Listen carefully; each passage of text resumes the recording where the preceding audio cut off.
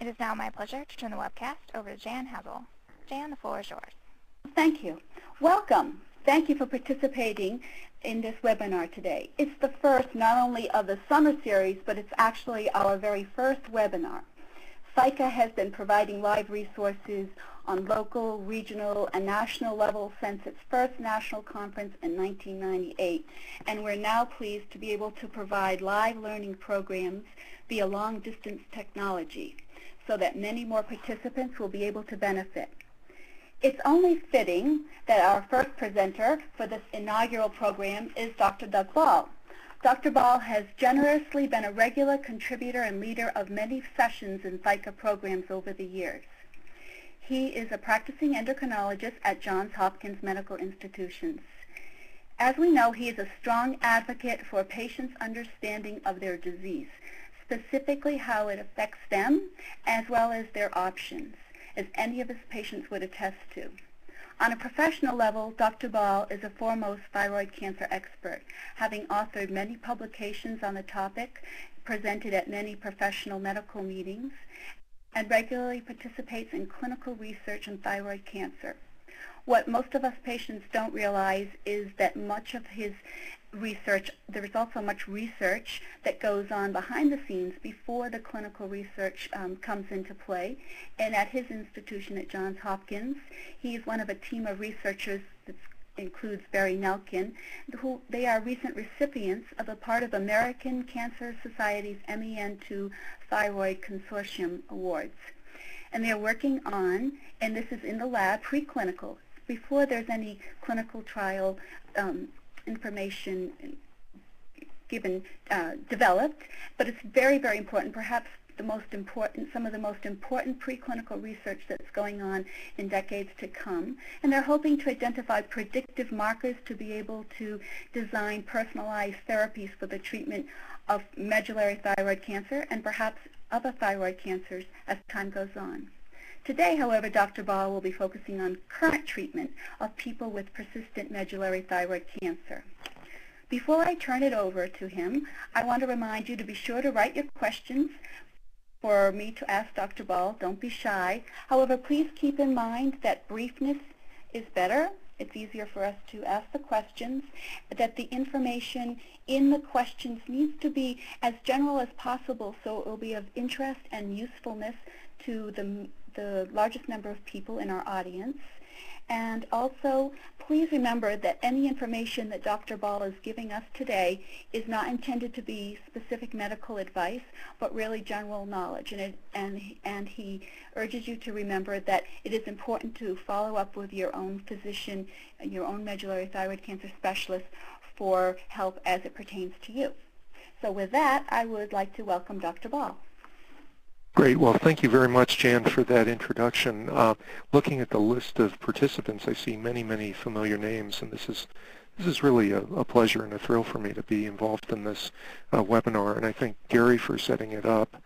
Uh, it's an it's a nice way for ITOG to expand its educational mission. Um, my uh, topic today is persistent medullary thyroid cancer, uh, choosing when and how to treat. And I'll spend uh, about 40 minutes with my part of the talk, and then we'll have 15 to 20 minutes remaining for your questions. And I'd request that you follow Jan's uh, guidelines uh, to make this as general as possible and to understand that I cannot give you um, uh, specific um, medical advice in, in this format, certainly. Um, one of the things that's important in a talk like this is um, that it be done in uh, in an up-and-up uh, fashion. And I, I want to disclose uh, some of the, consult, the consulting relationships that I have and also clinical trial um, uh, principal investigator roles that I have with these pharmaceutical companies. The, um, the basics of medullary thyroid cancer, I think, are well known to many members of the group, but I'll review it just briefly for you. Um, medullary thyroid cancer stems from the calcitonin-producing thyroid cells. These are a minority uh, population in the thyroid gland. MTC accounts for only 3 to 4 percent of thyroid cancers, Uh, this is about 1,700 to perhaps 2,000 cases per year in the United States. And strikingly, medullary thyroid cancer is heritable in 25% of cases. We know that mutations in the RET gene cause familial medullary thyroid cancer, and it's important even for sporadic, that is non-familial patients, to know a little bit about RET, the RET gene. So uh, here are some important facts to know. RET gene mutations are seen in the tumors of about half of MTC patients, all of the hereditary patients, and about 40% of the non-hereditary patients. Um, these mutations cause the RET protein to be overactive, and in a minute I'll tell you the consequences of that overactivity. RET mutations in a tumor can be associated with a higher rate of metastasis and even a higher rate of going on to death from medullary thyroid cancer. So it is an important prognostic marker. Um, interestingly, in the patients sick enough to go into medullary thyroid cancer clinical trials, 75 to 80 percent of them have a RET gene mutation in their tumors. So this is a striking overrepresentation compared to the 40% uh, seen in, in all comers. And it reemphasizes how important these RET mutations are in the prognosis in medullary thyroid cancer. Now, RET mutations can be seen and detected in the blood and in the tumors, and commercial laboratories can do this work. The American Thyroid Association in its 2009 MTC guidelines did not recommend routine testing of tumors. However, blood testing for RET mutations is recommended. Um, they commented that um, currently RET mutation results do not contribute to treatment decisions, but that tumor testing could become important if treatments show specific activity for RET mutation positive or RET mutation negative patients. But so far, clinical trials have not shown different response rates with and without the RET mutation. And that's an important fact to know and maybe a little counterintuitive, I think. Now, um, the background information that's very important is the natural history of medullary thyroid cancer. And put another way, we could say, how do medullary thyroid cancers do how, how do medullary thyroid cancer patients do with the traditional treatments of surgery alone or perhaps surgery plus radiation in some cases? And the, the flippant answer is that the disease is very heterogeneous. And I think people that have participated in, in the ThyCa medullary thyroid cancer group know this, that there are many different experiences with MTC, some of which are um, uh, kind of a speed bump on life's a road and some of which are truly um, challenging in every way. So um, it's important to know kind of the variation in the baseline natural history. Now we know that the clinical stage has a major role in determining how people do. The best data from this probably come from the United States SEER program, and this was published by Dr. Romans from Yale University in 2006. In, this, in these data, patients with tumors believed to be confined to the thyroid gland had a 10-year survival greater than 95%. So these patients did as well as patients with the common form of thyroid cancer, papillary thyroid cancer. Patients with involvement of both the thyroid gland and neck lymph nodes at presentation did slightly worse, with a 10-year survival of about 75% and patients with distant metastasis at presentation did worse with a 10-year survival of 40%. Now understand that these are data from an older era, and um, we did not have any of the kinase inhibitors or other uh, drug therapies, and we also had much less effective uh, imaging and less effective surgery at that time. But this is sort of the baseline situation we're dealing with that patients with tumors confined to the thyroid gland do great. Patients with um, lymph node metastasis do somewhat less well, and patients with distant metastasis at the time of presentation have a greater challenge. Now, calcitonin is worth paying attention to. It's really the, the biomarker that we use to establish whether there's persistent medullary thyroid cancer. Calcitonin levels are detectable in most healthy adults, but after thyroid removal, it becomes undetectable in patients who are in surgical remission. So the undetectable postoperative calcitonin is a hallmark of sur surgical remission, and an elevated calcitonin generally indicates that there is disease left in the body. Now the disappearance rate of calcitonin may be prolonged. Six to eight weeks is fairly typical, but in some patients the calcitonin still may be dropping at four to six months after surgery. It's useful to get multiple calcitonin levels during this early time period in order to establish the nadir or low point and to um, get an early idea of what the calcitonin doubling time may be. The impact of the calcitonin doubling time was well illustrated by a French group publishing in 2005. Um, and this was from a database that encompassed the entire French national experience. Um, French patients with a calcitonin doubling time greater than two years had excellent survival. In contrast, patients with a doubling time under six months had increased mortality.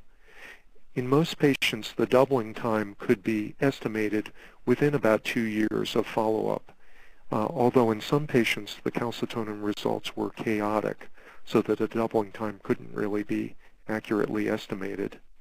In this small figure uh, to the left, it shows the uh, main data in this paper. On the y-axis of this figure, uh, shown here, is the percentage of patients still alive. On the x-axis of the figure shown here is the years of follow-up. This um, line here represents the excellent survival of patients who um, had doubling times greater than two years. And this lower line here represents the increased risk of death in patients who had shorter calcitonin doubling times. And you can see that about half of them had died of their disease by about two and a half years. Now again, this is from an era well before uh, tyrosine kinase inhibitors.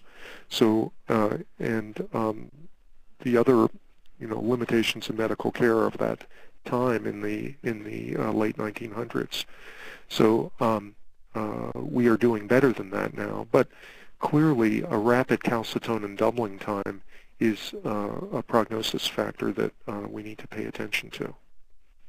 CEA is a second tumor marker, and I won't spend a lot of time talking about this, um, but we look at the doubling time of CEA as well as calcitonin. Now we know uh, pretty well where uh, medullary thyroid cancer can go when it leaves the thyroid gland. The most important site is the neck lymph nodes, and a majority of patients do have lymph node involvement. When the disease has gone to lymph nodes, it makes it difficult to cure surgically. So the majority of patients with lymph node involvement will still have a persistent calcitonin elevation even after surgery, which includes lymph node resection. A second important site are lymph nodes in the chest, especially in the central chest, called the mediastinum. Medullary thyroid cancer can also go to the lung tissue, to the liver, where it's particularly difficult to detect with uh, scanning, and to bone, where it can also be difficult to detect. So really these are the main uh, sites that we have to look for for persistent or uh, progressive disease. Um, the American Thyroid Association has um, provided a useful guideline uh, which includes the recommended choices for imaging in medullary thyroid cancer, and I really support these choices. These are available to you online as well through the American Thyroid Association website, and that is indicated uh, at the bottom of this slide. For calcitonin levels less than 150, the ATA recommends just neck ultrasound, um, that it's relatively futile do, doing, in most patients, a um, uh, an imaging uh, exercise for patients with low levels of persistent calcitonin elevation. If the calcitonin is higher, though, it's useful to add in neck CT or MRI, which would show the deeper lymph node areas in the neck, chest CT looking at the lung and mediastinum, an MRI or CT of the abdomen done with a liver protocol to detect liver metastases, and this is more sensitive than a typical um, abdominal CT without that um, distinction. And then MRI of the spine and pelvis, or perhaps a bone scan to pick up bone metastases. So this is the set of imaging that's recommended. Note, note that PET CT is not on this list. Um, it's pretty good in several of these areas, but not as good as these more targeted studies. So in general, we don't use a lot of PET CT scans in medullary thyroid cancer. Um, for routine surveillance, every six months we like to get calcitonin, CEA, thyroid blood tests, and usually a neck ultrasound. If the calcitonin is significantly elevated, then at Hopkins we usually get MRI of the neck, CT of the chest, liver protocol MRI, and often some form of bone imaging. Now this is one of the most important questions uh, to be asked in this talk, and, and really is the focus uh, here. At, at what level of progression do I need to seek an intervention? This is really the, the crux of the matter, I think. And it's, it's actually a very complex question. Um, there are many factors that um, bear on this. So uh, at first, uh, I think one needs to understand the current disease burden, you know, sort of a cross-sectional view of where you are right now. But you also need the rate of progression, not just the cross-sectional view, but a, a, a view that takes into account time and some understanding of the natural history of the disease if it's left untreated. Um, factoring into this is the impact of better imaging technology so if you look harder and more sensitively, you will probably see more things. And you have to distinguish between true progression and apparent progression that comes from looking harder or more effectively. Another class of um, factors bearing on this is, am I having symptoms now? Patients who are actively symptomatic, there's, there's a pretty strong reason to um, consider treatment. Um, one needs to understand the effectiveness of the treatment options and their toxicity, which can be pretty significant. And then one finally needs to carefully weigh the value of anticipated benefit. Um, can the proposed therapy actually increase survival? Or is it a lesser benefit, delaying the time to progression? Or lesser still, does it just um, cause some shrinkage on CAT scans without an anticipation of delayed time to progression. So these are sort of decreasing levels of clinical benefit. Now, how is disease progression measured? I think the way it's done in clinical trials is very helpful because it's a, a formal way that the National Cancer Institute has devised. And I think it helps us to think in these terms in order to be kind of specific about what progression really means. Now, the, um, the National Cancer Institute has instituted what are called RECIST criteria for cancer clinical trials. And really the entire world has now adopted these. There are different categories of, um, of disease in patients on a clinical trial. So the best, of course, is complete response, disappearance of all the target lesions. A partial response is defined at least 30% reduction in the sum of the long diameter of all the lesions compared to the baseline before treatment. Progressive disease, on the other hand, is at least a 20% increase in the sum of these long diameters or new measurable lesions. And patients who don't qualify in these three groups are considered um, to have stable disease. All right, so this is sort of a useful framework to think about what is significant progression with uh, at least a 20% increase in the sum of long diameters over some defined time period as being considered significant progression. Now I'd like to present you with sort of a generalized case to think uh, together with you about whether it is time for systemic therapy. Um, this is a 50-year-old woman who had medullary thyroid cancer surgery nine years ago. She underwent thyroidectomy, central and right lateral neck dissections.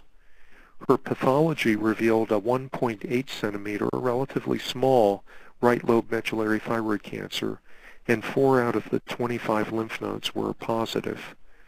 She had a low calcitonin level after um, surgery, but you can see in these tiny dots here that over a short period of time, about a year, it doubled um, several times.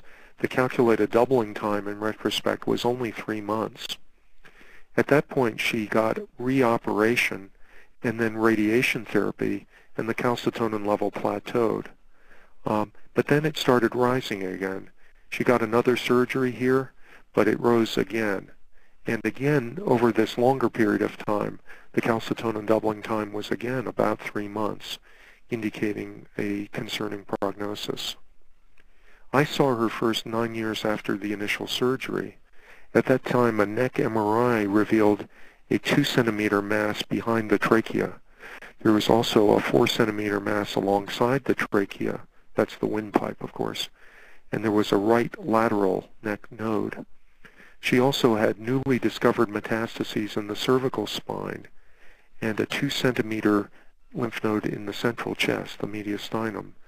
And there was also bone metastasis to the thoracic spine although her bone scan was negative. And I've, by asterisk, I've shown the lesions that increased over a six-month time period. So is it time for systemic therapy? Well, this patient had locally aggressive disease that had been refractory to both surgery and radiation. She had distant metastases with short-term progression. She had an adverse prognosis related to the calcitonin doubling time, and her uh, finally her tumoral RET mutation status was unknown. In these situations, I usually ask myself, can we predict an adverse outcome in a three to five year time frame if the patient is left untreated? And I think here we clearly can. So th this is the kind of patient who would, uh, I think, definitely be referred for um, uh, a systemic therapy. And in this day and era, it's usually a, uh, an oral kinase inhibitor. Now there's been a lot of excitement about this category of drugs and I want to step back and review for you what are kinase inhibitors and what do they do.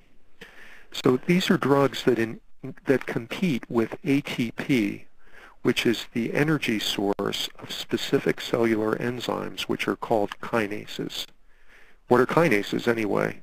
These are cellular enzymes that work in larger signaling pathways, and a, at a chemical level, they add a phosphate group to other proteins, often changing their activity.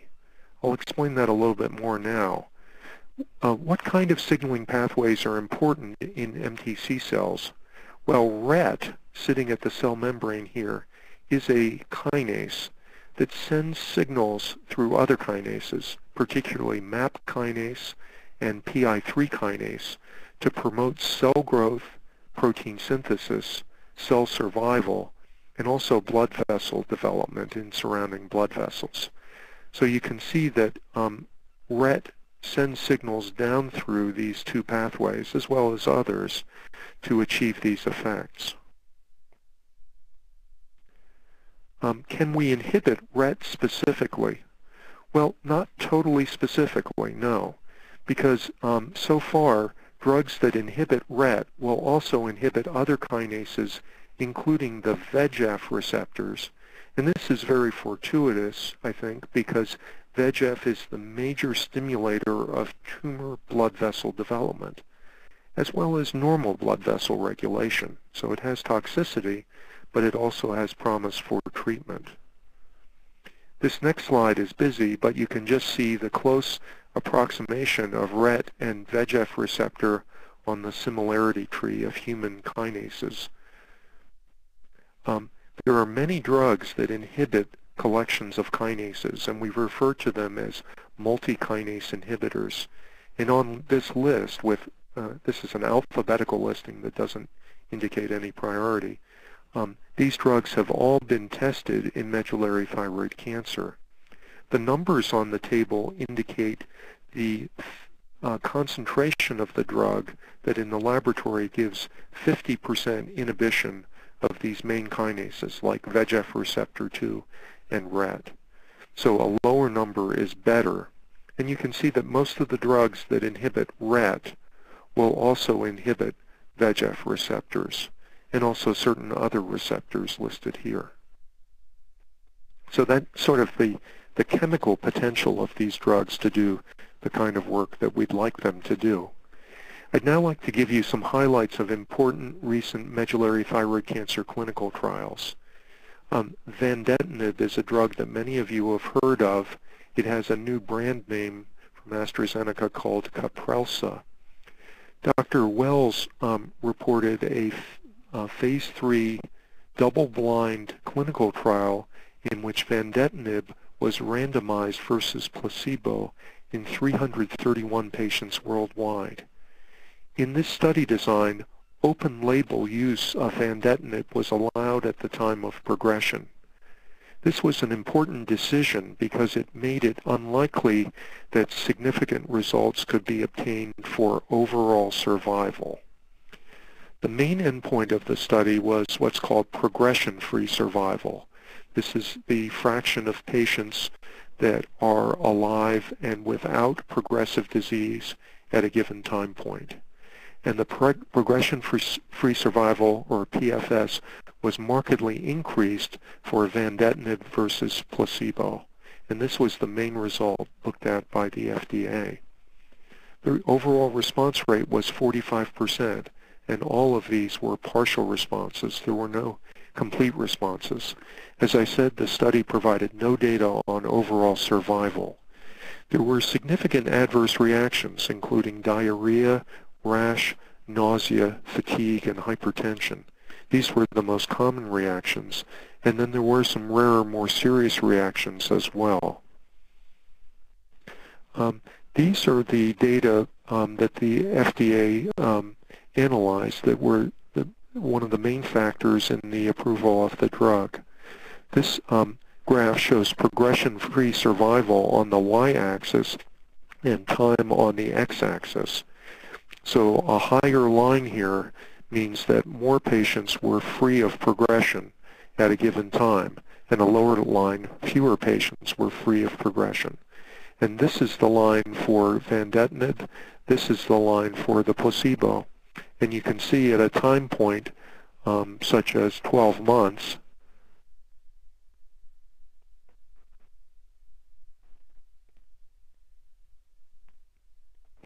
you can see that um, there was a significantly improved percentage of patients who were progression-free on vandetanib versus uh, patients on placebo. Not quite a, a doubling of patients who were progression-free. So a very strong result. Um, another drug uh, in this class is XL184, also known as cabozantinib. These are pretty awkward names to use sometimes. Um, Dr. Kurzrock at MD Anderson, in collaboration with us and some other sites, um, studied 34 patients with medullary thyroid cancer treated in an expansion cohort, orig cohort originally from a phase one clinical trial. Um, the overall uh, response rate was 41% and 29% were confirmed independently on repeat. 68% of the patients had either a confirmed um, partial response or stable disease lasting more than six months. The adverse reactions in this study overlapped with vandetanib, including hand-foot syndrome, fatigue, increased pancreatic enzyme called lipase, and diarrhea. And a randomized phase 3 trial has now been uh, uh, completed in terms of its accrual and is, is maturing. The results are, are pending, and we should here within a year, I think. Another uh, drug is sunitinib or Sutent. Um, this is already FDA approved for kidney cancer. Dr. D'Souza and colleagues from University of Chicago reported a phase 2 trial in 23 MTC patients. 35% of these patients had um, partial response, 57% had stable disease. The adverse reactions for sunitinib are somewhat more severe, including fatigue, low white blood cell count, nausea, diarrhea, oral soreness, and hand-foot syndrome. Another drug in this category, sorafenib or uh, Nexavar, um, was reported by the Ohio State Group. Somewhat disappointingly, only 1 out of 16 patients had a partial response. 8 out of 16 had stable disease with a median uh, progression-free survival shown here. Um, and then uh, Dr. Schlumberger in France reported a phase 2 study of motesanib um, in 91 MTC patients. Somewhat disappointingly, only 2% had partial response, but 40% had stable disease longer than 24 weeks. Then there are two uh, ongoing MTC phase 2 clinical trials to highlight, E7080 or lenvatinib. Um, this is a drug that um, uh, inhibits VEGF receptors, RET, and some other kinases. Um, the phase 2 trial in medullary thyroid cancer is fully accrued and the results are pending, probably out within a year. And pazopanib or Votrient is an FDA-approved drug for kidney cancer. It also inhibits VEGF receptors and PDGFR. It's only a weak RET inhibitor. And a phase 2 trial is underway preliminarily with about 7% partial response and 57% stable disease. So I'd like to now give you some of my perspectives and summation of systemic therapy in MTC. I think there are encouraging early results, including significant response rates for vandetanib, XL184, and sunitinib. Um, so far, vandetanib has demonstrated increase in PFS. There are no survival data available yet for any drug, so we can't say with confidence that these uh, partial responses will extend to give patients longer survival. We know pretty clearly that progression on one agent does not preclude response to a second. This was especially well shown um, in the interim results on the XL184, where several patients treated with other kinase inhibitors uh, and, and progressing had responses to XL184. Um, so far, and somewhat disappointingly, the presence of a RET mutation is not predictive of whether or not a patient will respond to these drugs. Furthermore, we really don't know whether the key target of these drugs is RET, a VEGF receptor, or perhaps some other kinase or kinases in combination. And then a final thing that's important to know about is that you can access um, the availability of clinical trials through this NIH uh, website, uh, www.cancer.gov, and I encourage all of you to become familiar with that if you aren't already. Now, a little bit about the FDA approval of vandetanib. Um, this occurred uh, this past April and really was a, a landmark in in medullary thyroid cancer and thyroid cancer as a whole. As I said, it was based on the phase 3 clinical trial data. The FDA-approved indication is symptomatic or progressive medullary thyroid cancer in patients with unresectable, locally advanced, or metastatic disease. And those words are very carefully parsed, and I think they indicate um, in broad strokes the kind of patients who um, should be considered for vandetanib. As I mentioned, the new brand name is Caprelsa. Um, here are some important things that I think patients should know about vandetanib.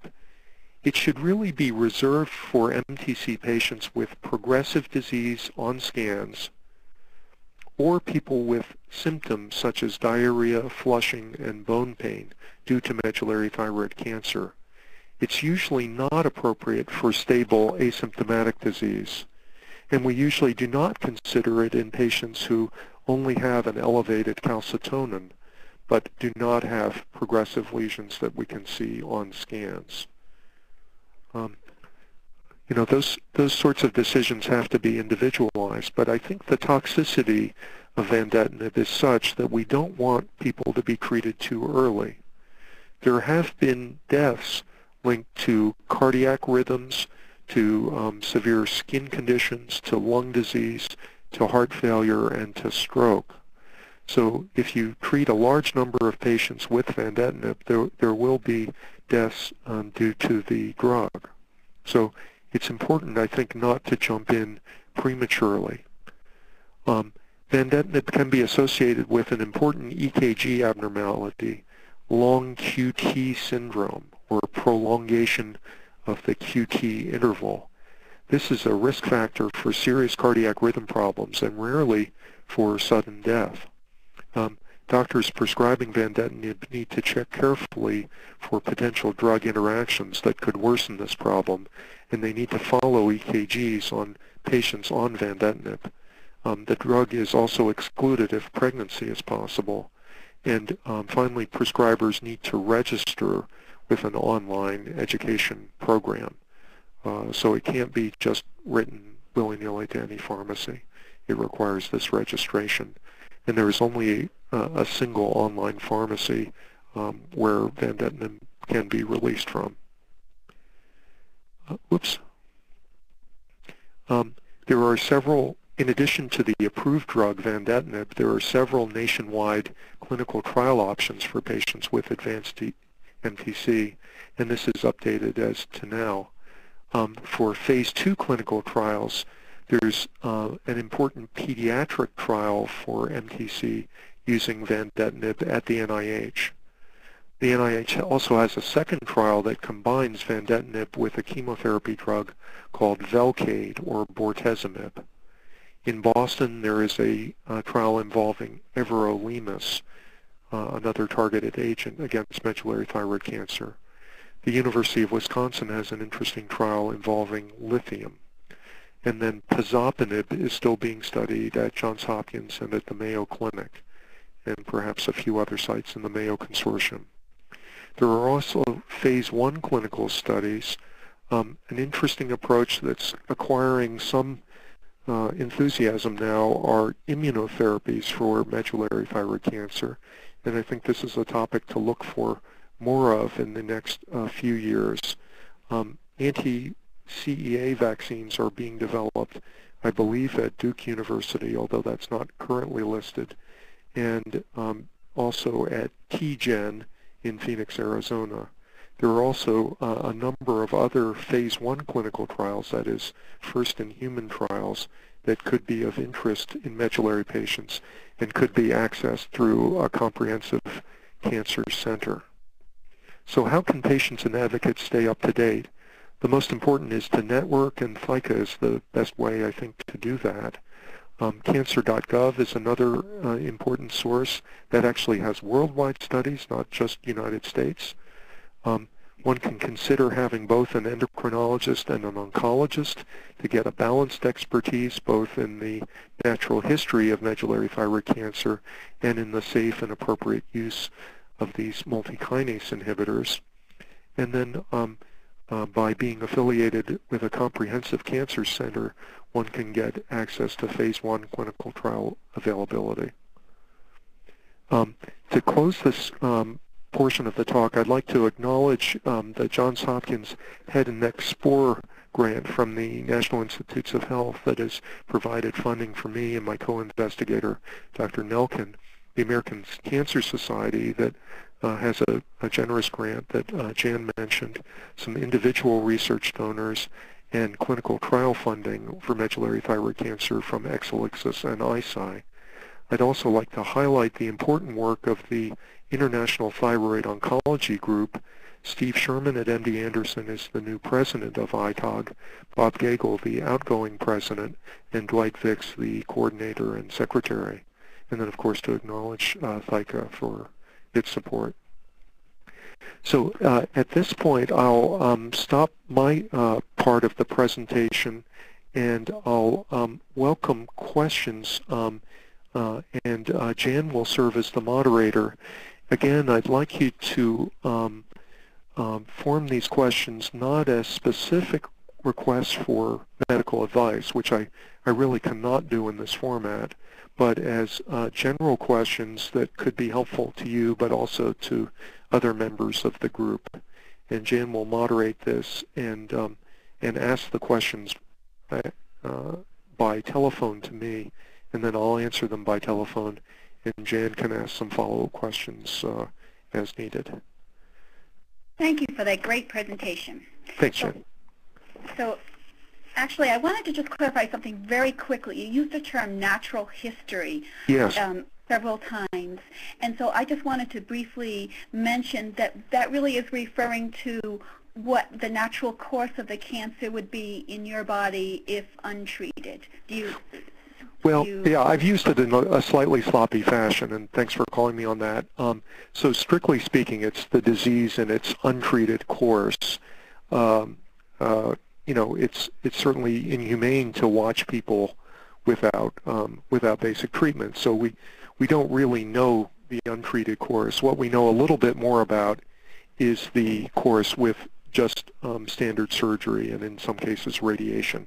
So I use that term natural history, but it's a, it's a somewhat sloppy usage. So now we're going to start off with a question that really pertains to the, the crux of this presentation. So a patient who's been diagnosed rather recently in the last year or two, and they've had the th their total thyroidectomy and they've had their lymph node dissection, but during that surgery, some of the lesion, some of the cancer had to be left behind. There was some non-resectable disease left behind. So knowing that, knowing that, and, and now in view of this newly approved drug, vandetanib, is it time to is it time to still wait and watch, or is it time to jump off the fence and go after that known remaining cancer with using vandetanib? Okay. So um, the remaining disease, is it is it in the neck or in the chest? Do we do we know that, Jan? Well, in this particular case, it is actually below the sternum. Okay. So um, a, a, couple of points here. Um, patients with, I, I, I, think I mentioned it earlier, but I'll repeat myself, that patients with extensive lymph node disease um, generally don't have much of a chance of having it cured surgically. And um, certainly when it, it, extends down into the chest and mediastinum, um, that that surgery would not be curative. At best, it would be palliative, you know, either treating symptoms or preventing or, or slowing future complications.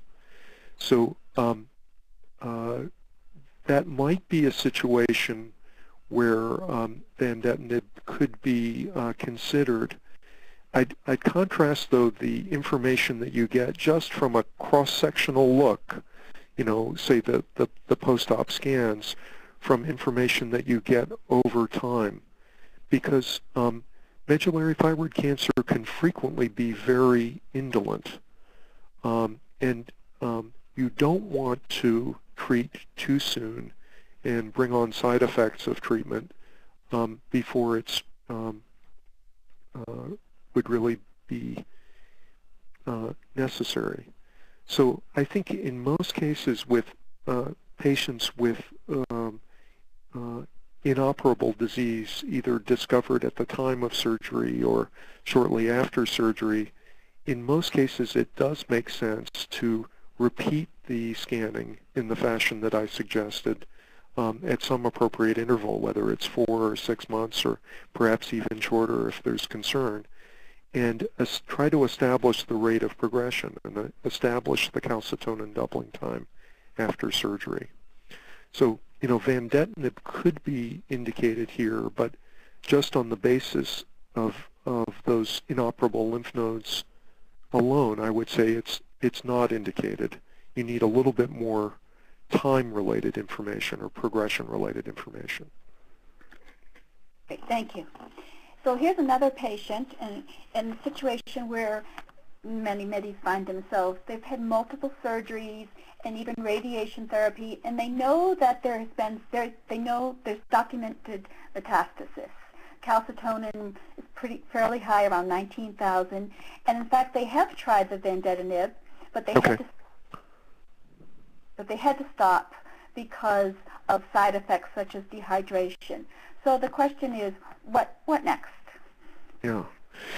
So, um, so this patient has um, has medullary thyroid cancer with presumably with progression on scans. Let, let's just say, for point of argument, yes, yes there is progression on scans. Yeah, yeah, and there is um, and there is there are symptoms with diarrhea. It sounds like maybe the the diarrhea actually got worse on vandetanib, and now they're again off of vandetanib. What can they do? So um, the um, the the post vandetanib options are a little bit limited right now, and I think we we really need more. Um, uh, six or 12 months ago, we had the option of having that patient go on the XL184 trial, but that is now closed to accrual. Um, there are a couple of more clinical trials that I indicated in the slide that are, are still open, and those would be possibilities, including uh, pazopanib, or everolimus. Another option would be to consider one of the um, um, uh, multikinase inhibitors uh, prescribed off-label by a, uh, a medical oncologist. So these would include uh, sunitinib or perhaps uh, pazopanib off-label.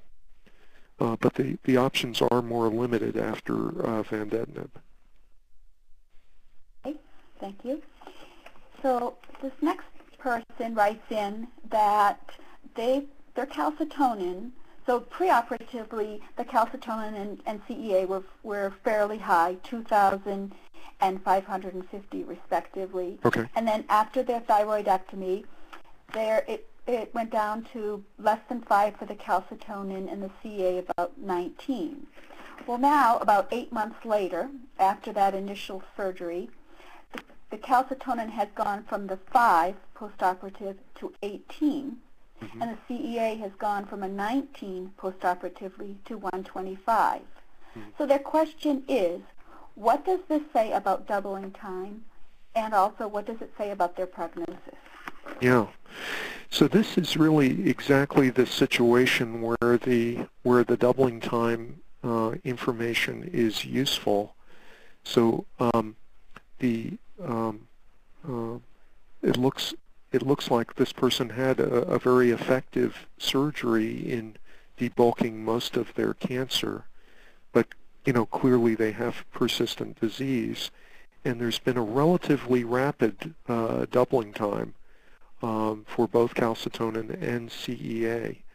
And um, so this is information that is concerning about prognosis even before it may show up on, on scans. Um, so when we see this sort of thing, um, we uh, oftentimes will violate the 150 calcitonin cutoff and we'll start um, uh, imaging more intensely and a little bit earlier. So we'll factor that um, rapid doubling time in. Now, it, it's not in and of itself a reason to start a systemic therapy like vandetanib, but um, you know it it, um, it heightens one's index of suspicion, I think, and um, it's important to stay on top of it both in terms of blood tests and imaging. There's one other point that this brings up, Jan, and that is that the uh, in the immediate period after surgery, the calcitonin and the CEA do not behave identically. The CEA can persist and be elevated for significantly longer than the calcitonin. So um, one can sometimes get sort of uncoordinated changes between the calcitonin and CEA in the immediate postoperative time where the, the calcitonin may, say, go to undetectable and the CEA is still elevated, but then maybe at, um, at four months or five months, the CEA would finally go back to normal. So the next set of questions is going to get away a little bit from persistent disease and talk a little bit more about the basic disease. Okay. So how accurate is genetic testing so that we can protect our families? Yes. And a second question from a second person but related is, should children of sporadic patients have the test for the RET mutation? Yeah, so those are excellent questions, and I, I sort of tilted the presentation toward the persistent disease, but it, it's always good to talk about this.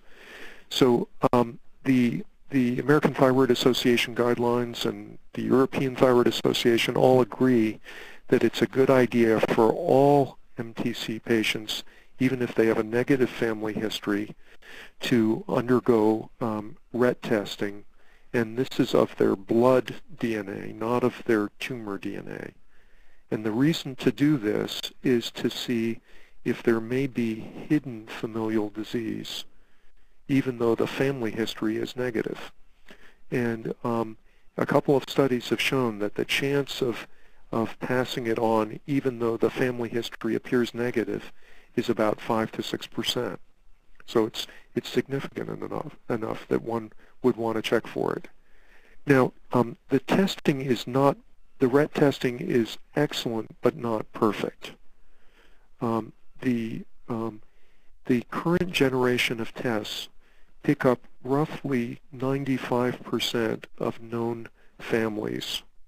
So if you take a known family with a family history about 95% will be picked up by the current generation of tests. Uh, the standard test. One could do even more detailed testing, um, but, but the standard test that's usually used would pick up 95% of those. The chance, though, for um, somebody with a negative family history and having a negative RET test of still passing it on to their family is not 5%. It's actually 5% times um, times 5%. Uh, so it's a, it's a much smaller number. And then for an individual child, it would be 50% times that. So we're really talking about a couple of chances in 1,000 of the remaining risk. Um, I think it's a good idea for pediatricians to know about the um, the family history and to do thyroid examinations and to talk to children about um, symptoms that could be referable to thyroid cancer and medullary thyroid cancer. But it's a small risk, and um, it does not do any good to do the standard RET test again on a child if the if the index patient, the, the, the parent who's affected, is negative. That doesn't do any good because it, it's just relooking for the same sites in the RET gene.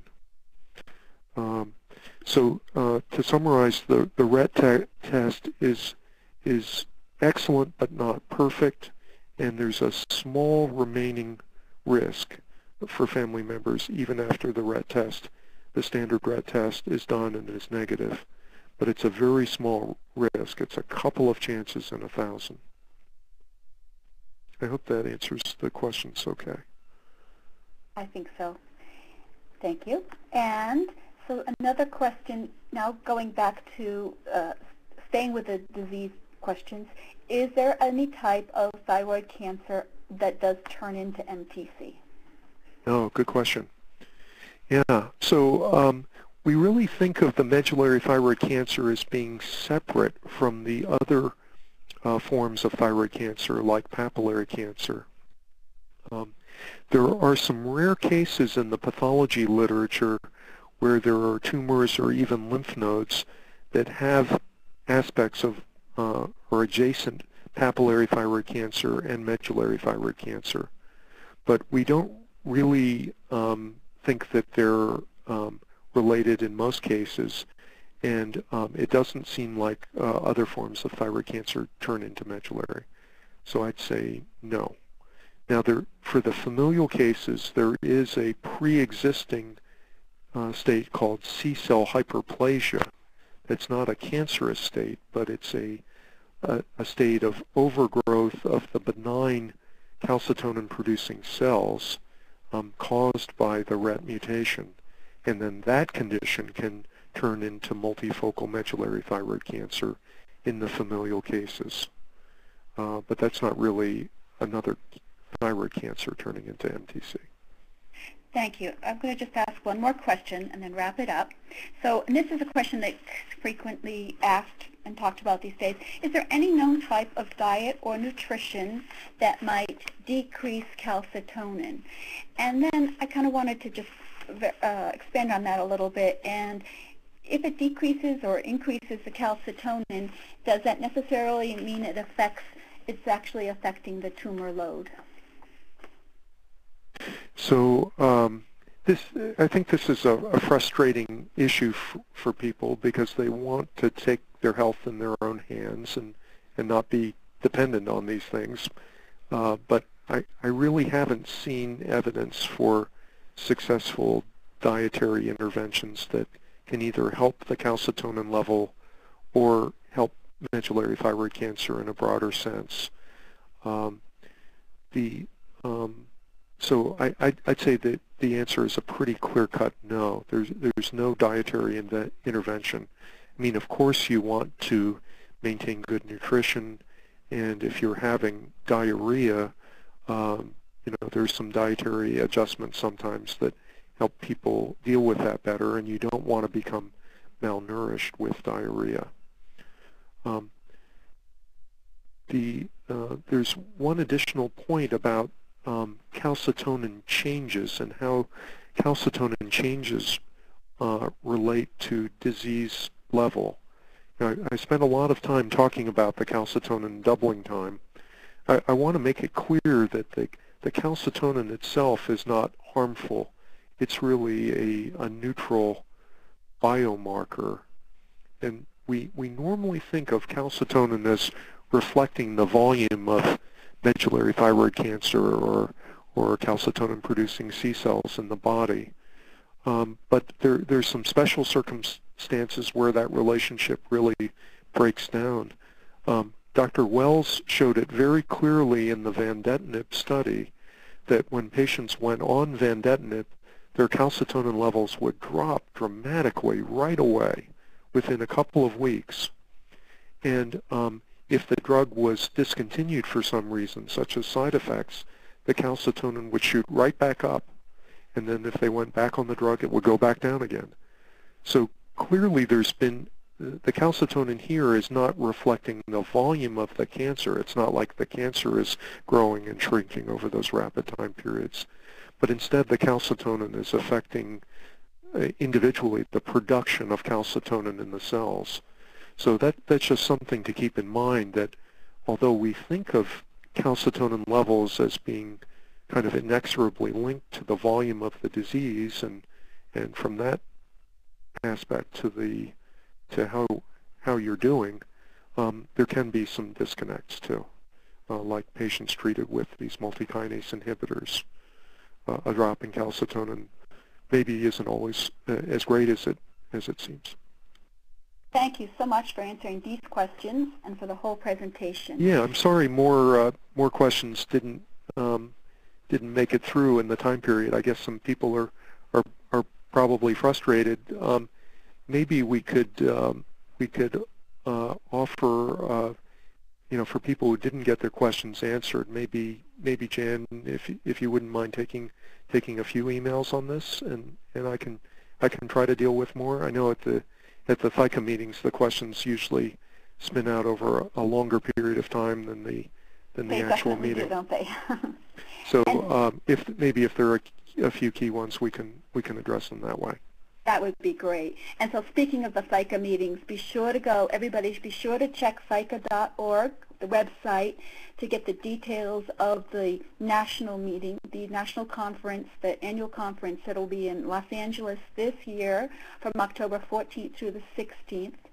And also on thyca.org, you can get the schedule of the upcoming webinars that will be featuring, currently the ones that are scheduled are pertaining to the other types of thyroid cancer but certainly certainly hope that we will have Dr. Ball back again for more on medullary thyroid cancer. And I think that pretty much wraps up our time. Thank you again, everyone, Great. for participating. Thank you, Jan. Thank you, Gary.